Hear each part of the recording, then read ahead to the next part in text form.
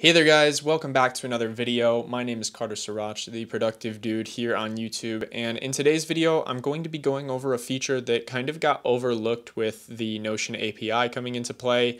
Uh, a lot of people are really hyped up about that, but they overlooked this new feature called synced blocks, and I really want to talk about this because it's a very powerful feature. Uh, we have an API video coming out soon, and it will be linked up in one of these corners when you want to check that out. Go ahead and check that out because the API is super powerful. We're going to have a lot of great videos about that. Um, but in this video, we're going to talk about synced blocks and some use cases and basically just how to use them. So without further ado, let's jump right in. So here we are in my Notion account. If you guys are familiar with how my homepage usually looks, you might notice that it looks a little bit different now. We've got this nice little navigation bar here on the side. And let me just show you how this works because this is actually taking advantage of that synced blocks feature that I was telling you guys about. So if I want to go to a different area of my Notion workspace or a different page, I can literally just click on any of these. And as you can see, this synced block stays the same across every single page that I go to. And there's kind of just some continuity and it sticks together a lot better. So that's why I really like this synced blocks feature. It works great as a navigation function. Uh, I can also show you guys how to make this uh, menu. If you stick around till the end of the video, I'm going to be uh, basically going through how to create this menu for yourself. Um, it also has an add new page template button, which is really nice. It adds a new page immediately and it pulls us to a template page. So the nice thing about this is, you know, I just put my title in right here and it's ready to go. It already has my synced block in the template page and then I just give it a new name. And if you guys watch as I give it a new name, it updates live on the right in the synced block. So let's just say I wanted to create a page called tutorial, boom. And then I can go in here and I can change this to whatever I want it to be. Um, I can change my cover photo and whatnot.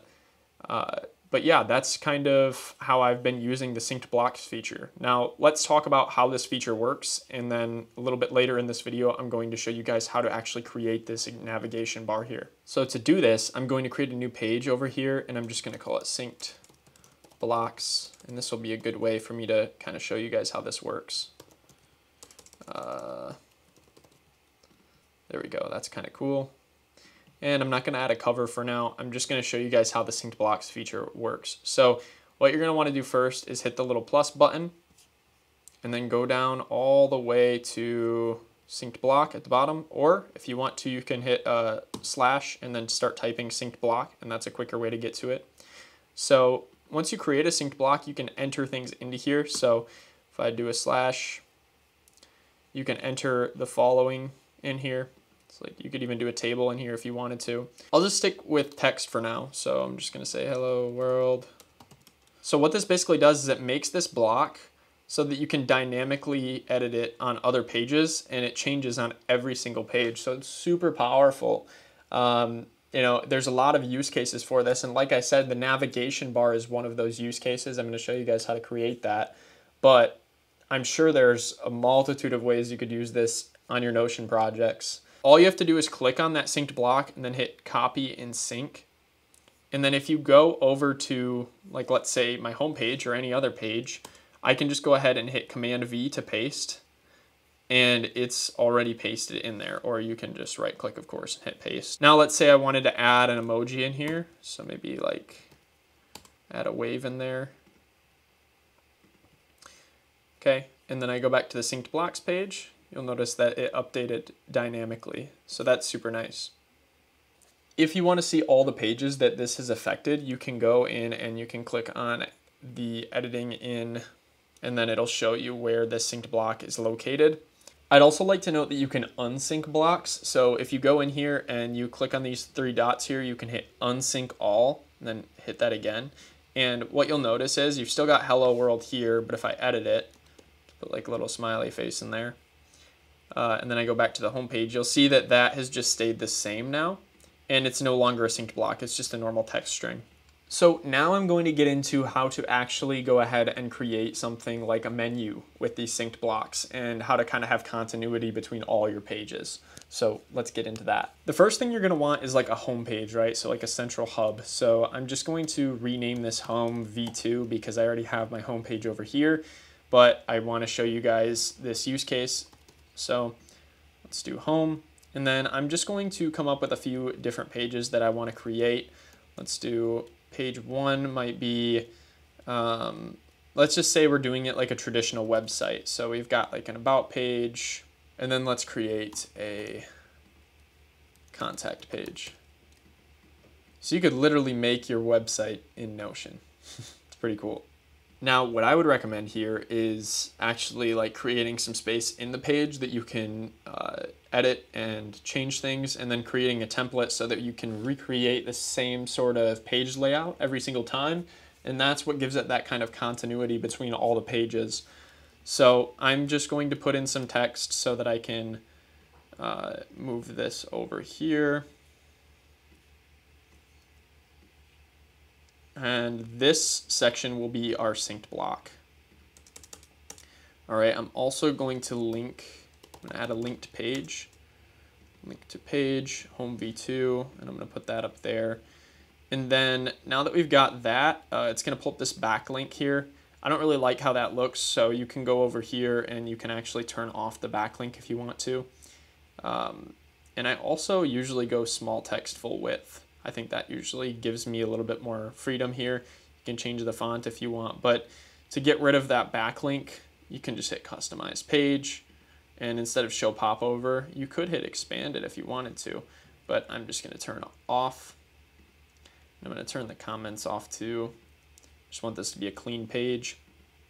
And then in here, we're just going to put our title, right? So let's do H2.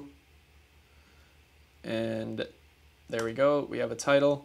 And then what we're going to want to do next is for my particular homepage, I just add like a quote or a little like information section here, but it's actually a quote. So you can just hit this plus button and go to quote and you can start entering your quote here. So enter quote here or page information. Okay, and then basically you would start entering all the content for your Notion page. I've made a ton of Notion videos, so if you guys want to check them out, see some different ways that you can use Notion for things like habit trackers, to-do lists, note databases, things like that, then definitely check out our Notion playlist. We've got tons of videos in there and I can basically give you guys some pages to fill in your Notion if you want to. And that's kind of where the content would go. It would kind of just go right in here. So I'm just going to put a placeholder right now. If you're enjoying this video so far, please leave a like because that really helps us out a ton. You can also subscribe, but if you want to get notified when we come out with a video, make sure you hit the bell, and that will give us the best chance of actually getting those videos out to you. Um, so yeah, if you want to, go for it. A like really does help though, so we'd appreciate that. And if you want to, go ahead and leave uh, some feedback in the comments. Thanks. Now, I almost forgot, we're actually going to add a template button. So I'm actually just going to delete these pages for now, and then we'll add them back in just a second very quickly and easily with the template button because we already have the layout that we want right here. So what I'm actually going to do is just turn this into a sync block here. So let's just do synced block. And another way that you can actually do this is just by simply dragging them into the synced block.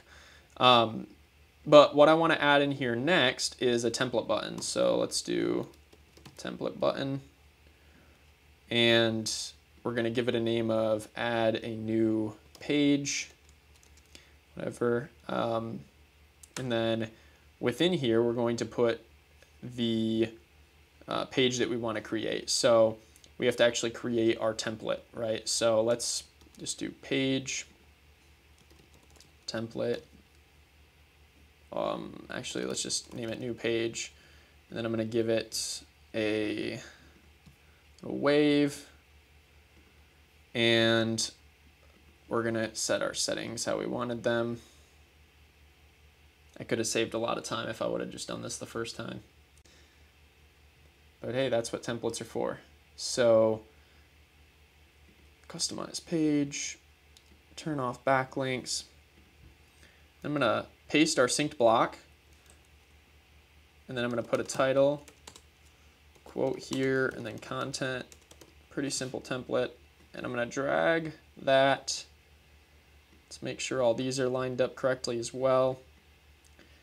And I'm just going to come in here and I like to use an H2 for this.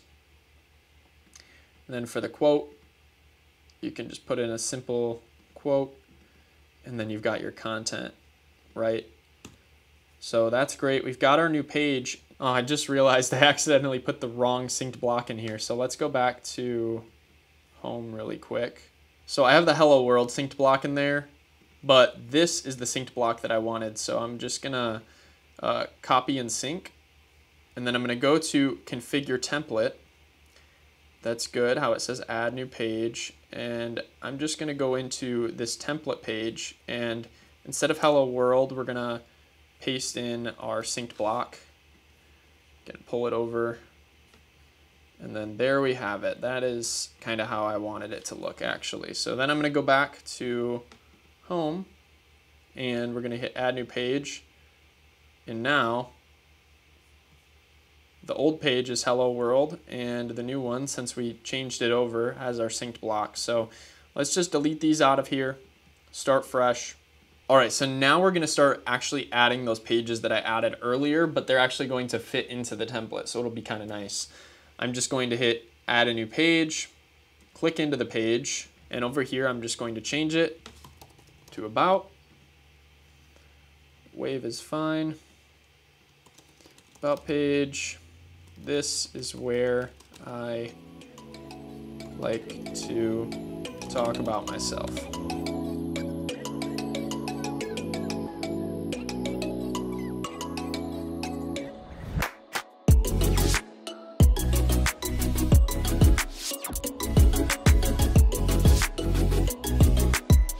All right, so my about page is done. I'm gonna add another page here. Let's do a services page.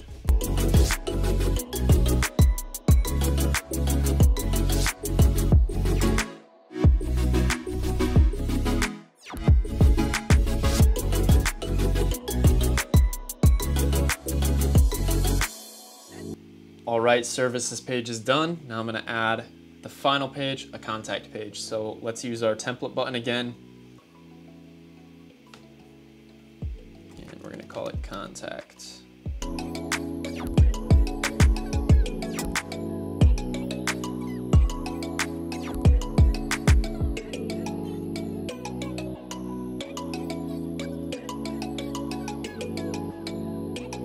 All right, so now we basically created a full-on website in Notion. Um, we've got our about page, our services page, and a contact page where I even went ahead and embedded a Google form. So people can literally fill this out and then they can hit submit and it sends right there straight away. So that's kind of nice.